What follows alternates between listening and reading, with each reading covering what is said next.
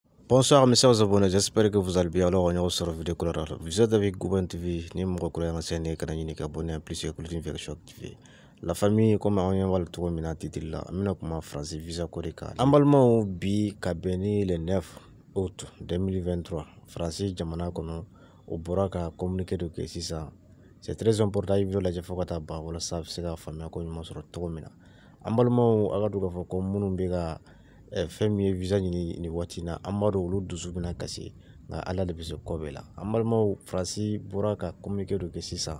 ka yira k'a fɔ ko min bɛ mali ale ni faransi ni ɲɔgɔn cɛ k'a sisiparara sisipasɔn o ma dati fo o ko dɔrɔn de ka ten dɔnku faransi visa a tɛna di mali ma bilen mali malidenw ma bilen ka da kan ko caman bɛ faransi ni mali ni ɲɔgɔn cɛ sisan danaya o t'an ni ɲɔgɔn cɛ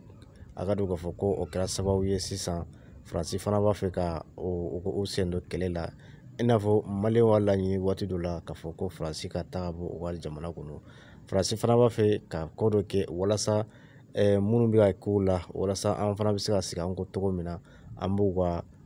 ko dɔw bila sen kan an balimaw o de ye mɔfɛsibila tɔmɛn sisan ka yira k'a fɔ ko tɛna fɛn nɔgɔma hali minnu bɛ mali la n'i b'a fɛ ka taa faransi sa peut-être n'i taara yɔrɔ wɛrɛ i bɛ se ka visa sɔrɔ mais en tant que n'i bɛ mali kɔni kɔnɔ bamakɔ e tɛna visa sɔrɔ ka taa paris la famille ni mauvaise nouvelle tombera sisan j'espère que mɔgɔ caman bɛ sisan minnu bɛ ka visa ɲini visa ɲini ka taa faransi walima ka taa yɔrɔ wɛrɛ la malheureusement ko a tɛna kɛ bilen faransi bɔra ka a suspend que pensez-vous a yɛrɛ pasera jumɛn na n'u olu ka nin déclaration in na